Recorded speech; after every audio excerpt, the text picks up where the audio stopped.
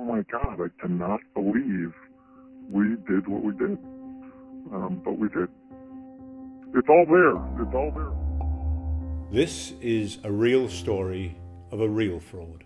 It's the lowest point in my career that I went along with that paper. Deliberate, high level deception of the American people with disastrous consequences for its children's health.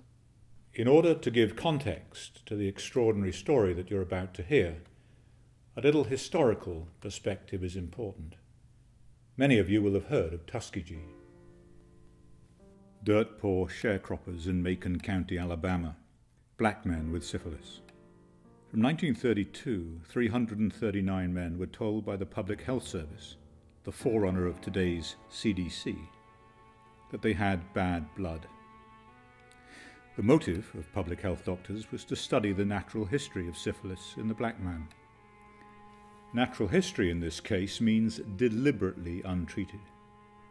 These men were deliberately left untreated even when something as effective as penicillin came along. Worse still, those infected were actively prevented by public health doctors from getting this life saving drug. Men suffered and died, women continued being infected, and babies continued to be born with congenital syphilis.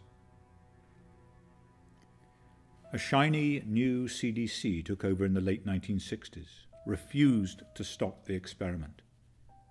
Not until every last man had been opened up on their autopsy table.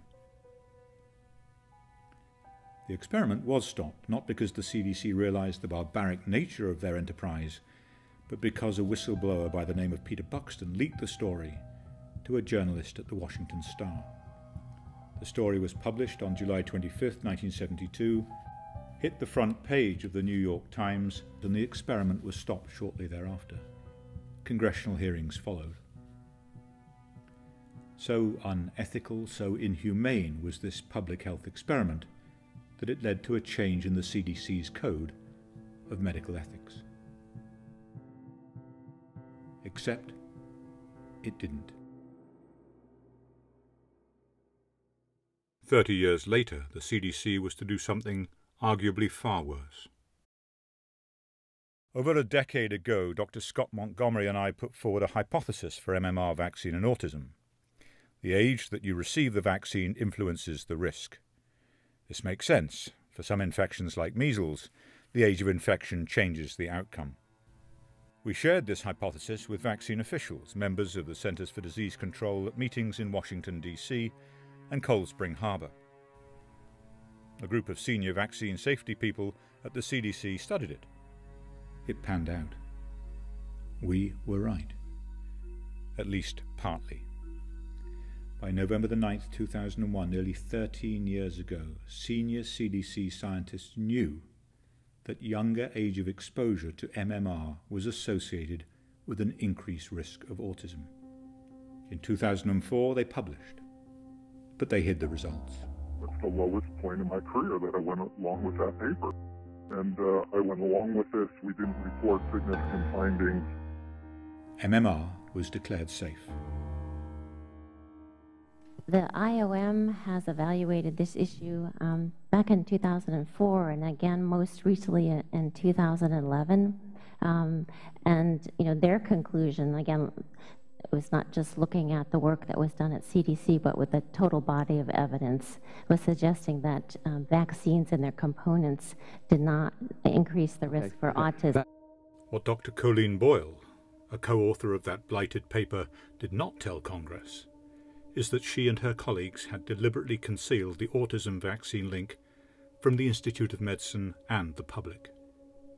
Ironically, they even received an award from the Secretary of Health and Human Services for this work. So troubling was the fraud that one of the CDC researchers broke ranks. Eventually, he made contact with Dr. Brian Hooker father of a vaccine injured child with autism and a vaccine safety researcher. Uh, I received a phone call out of the blue. Uh, it had a 404 area code, so I knew it was from the CDC. Lo and behold, it was. He had much to confess. I'm completely ashamed of what I did. I have great shame now. I was complicit and uh, I went along with this. Had appointed me his priest. And when he appointed me his priest, then he started confessing. And we have had many, many phone exchanges. We've exchanged dozens of emails, and he has released quite compelling information regarding fraud and malfeasance in the CDC. We didn't report significant findings. Sent Hooker information that was never intended for public scrutiny. From their own data sheets dated 2001, Dr. Hooker analysed the CDC's results, and he found the same risk for autism that the CDC scientists had themselves identified. It's all there. It's all there. He confronted. He has expressed significant remorse for lying, for burying data. I have great shame now when I meet families with kids with autism because I've I have been part of the problem. This week, August the 10th, 2014, Dr. Hooker published the real findings. A 340% increased risk of autism in boys receiving the MMR on time compared with those receiving it later. 13 years and tens of thousands of children later. But as I've said, Dr. Montgomery and I were only partly right. The risk of autism from early MMR vaccination was seen in black children, black boys. Those boys, for some reason, are at very high risk. Consistent with the CDC's own findings, the rate of autistic regression in black children is reported to be twice that in white children. Oh my God, I cannot believe we did what we did. Tuskegee Revisited. Scientist Dr. David Lewis, an international expert in whistleblowing and the detection of scientific fraud, reviewed the original CDC documents and the paper they published in 2004. Probably this is the clearest case and the easiest case in which to answer is it fraud or is it an accident? Is it just an artifact of the study uh, that we're dealing with here? Clearly, it's fraud.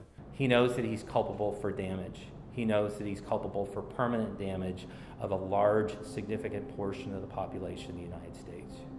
The higher ups wanted to do certain things, and I went along with it. Dr. Frank DeStefano, Dr. Marshalyn Yeargin-Allsopp, Dr. Colleen Boyle. They knew. They let it happen, and they could have stopped it. Michigan lawyer Allison Folmar, an award winning advocate for children and parental rights, gave her reaction. Um, I feel, uh, first and foremost, as a human being, you know, uh, betrayed. When you lose your faith and trust in humanity, you know, how, how do you how do you repair that? I mean, I don't really know what to say, to be honest. He is very regretful about his involvement. It's the lowest point in my career that I went along with that paper. I'm not going to lie. Um, I've, I basically have stopped lying. You see, vile as the crimes of Stalin, Pol Pot, and Hitler were, these men were not hypocrites. Their motives ambiguous or their rhetoric glazed with apparent caring and compassion. These men were not entrusted with the welfare of their victims. Their mottos did not include the words to save lives and protect. They were not running a mandatory program disguised as caring. How many children? How many went to the wall in that decade of silence? How many presidents, Mr. Obama?